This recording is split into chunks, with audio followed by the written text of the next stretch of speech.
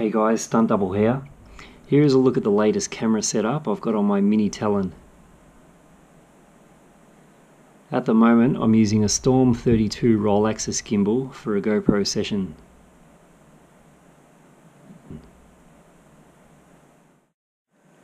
So this is the setup I've been using for the past few months.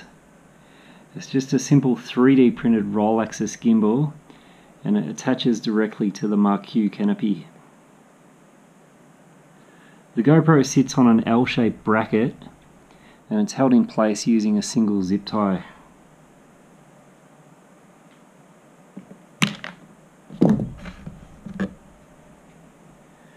This piece here is designed specifically for the GoPro session. There's a little raised lip at the front here which helps to lock the GoPro in place. It attaches to the motor using two screws. Underneath there's the Storm 32 IMU board. That's got four wires that exit from it. They travel up here and through the motor, which has got a hollow shaft, and they attach to a slip ring. The slip ring gives it full rotation, unlimited movements, so there's no wires to get tangled up.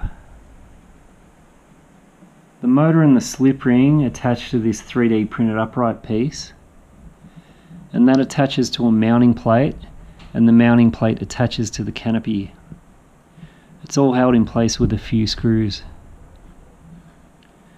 The wires from the slip ring go down here, there's a zip tie to hold them and they go through a hole and into the fuselage.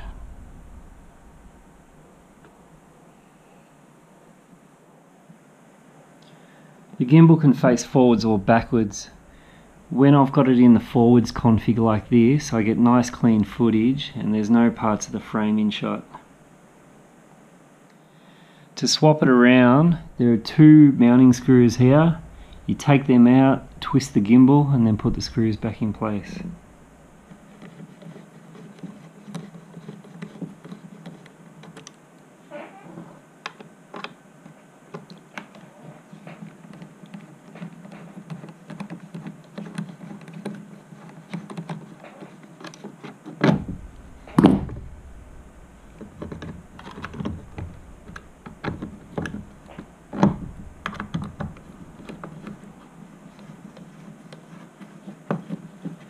This is the setup I like the best with the GoPro looking backwards. I usually fly with a GoPro wide angle and you get a great shot of the plane in action. And this is where the slip ring really comes in handy. You can do unlimited rolls with the Mini Talon and get a different perspective.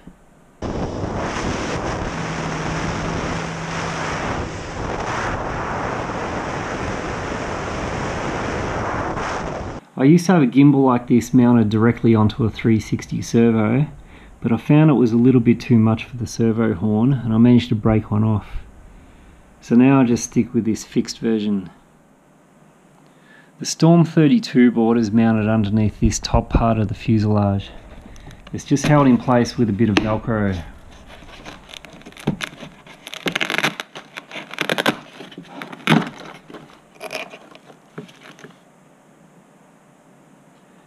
This green board here is a regulator to power the Storm 32 board. That's hooked up directly to the flight battery and it's set for 12 volts. This setup is a nice lightweight alternative to a bulky 2 or 3 axis gimbal. The roll axis stabilization helps soften a few of the bumps that you normally see with fixed wing flights. If you have any questions about the gimbal, please drop them in the comments below. Cheers.